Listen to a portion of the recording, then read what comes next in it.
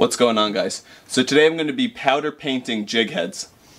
I've got an assortment of jig heads right here as high as 3 ounces and as low as a quarter ounce. I'm going to be using Pro-Tec powder paint here. I have a pearl colored version because the swim shads I'm going to be using are pearl colored and I want the jig head color to match the swim shad color. I have a propane torch to heat up the jig head and what I'm going to be doing is dipping the heated jig head into the powder and the powder will melt and adhere to the jig head and it'll come out with a nice glossy finish.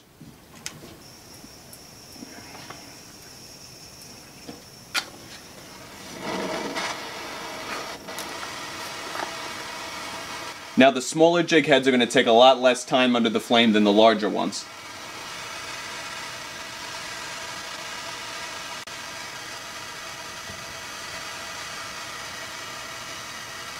And if it's not quite hot enough, you can add a little more flame and the flame will do the job itself.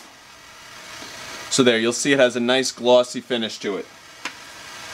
And I just stick a needle through the hole there so you can thread your line.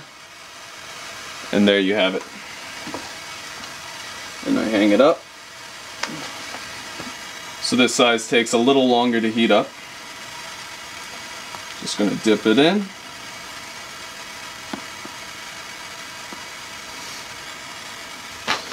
And there you go. It comes off with a nice pearly finish to it. Now lead has a really low melting point, so you got to be careful not to melt it. There we go. Put it on both sides. And there we go.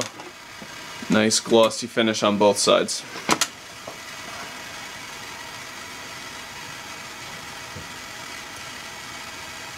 Now this is a 3 ounce one. This will probably take a little longer to heat up. Alright, the 3 ounce jig should be just about hot enough. So let's dip it in.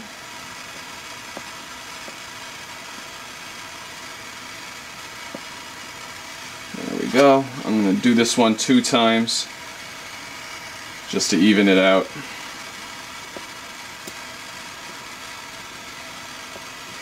There we go. And on this one, the hole remained open, so I don't even have to stick the needle through it. Now this one I found stuck to a rock in the surf on Montauk. I pulled it off and ripped what was left of the eel off of it. I'm going to try to repurpose this as a jig head for a swim shad. I was thinking about chiseling the paint off, but I think I'm just going to heat it up the way it is. Hopefully the paint doesn't burn. Lead has a pretty high thermal conductivity, so if I just heat up one part of the lead right at the mouth here, the rest of it should heat up pretty, pretty evenly. Okay, now I'm going to dip it.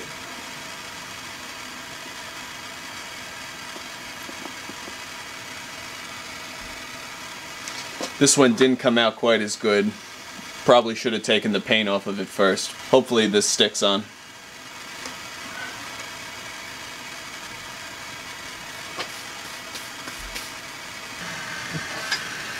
Now the next step is baking them in the oven for about 20 minutes at 350 degrees and that should really reinforce the uh, process. Alright, so here's the finished product. First we have the 3 ounce one. Came out pretty nice. Nice and glossy, nice and smooth. The rest came out pretty much the same. Nicely done.